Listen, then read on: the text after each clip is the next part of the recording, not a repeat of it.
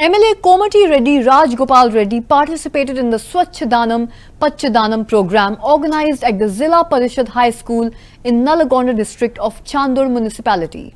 The MLA inspected the midday meal arrangements in the government school and as part of the Amrit scheme, the foundation stone was laid for the construction of two drinking water tanks with a capacity of 5 lakh litres in Chandur. MLA Rajagopala Reddy also ordered the officials to complete the construction of the sewers in the Chandur and the Chautupal municipality. He emphasized that there is no need to compromise in the matters of development. Take a look.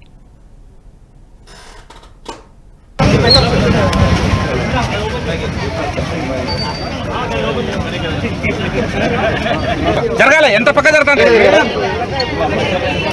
కొంచెం వెనక్కి రండి ముందు పోకండి. Sir ఒక్క నిమిషం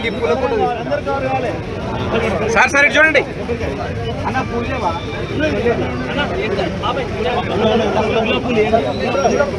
అరే కిందికి రా.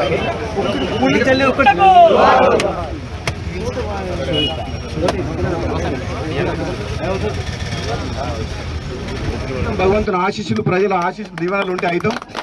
కానీ ఏదైనా అది ప్రజల కోసమే.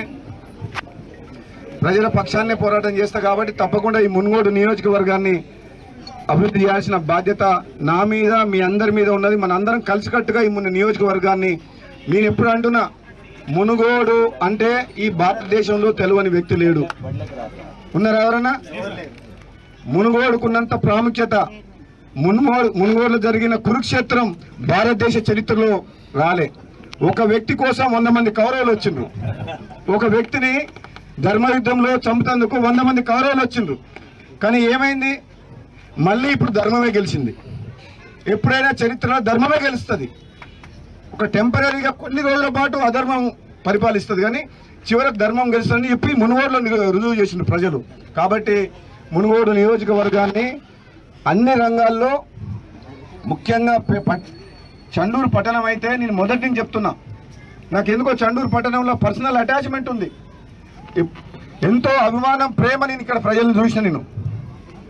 ఎంతో మంది మహిళలు నేను ఎప్పుడు ప్రోగ్రాం పెట్టినా నాలుగైదు వేల మంది మహిళలు ఎదురుమ కూర్చున్నారు.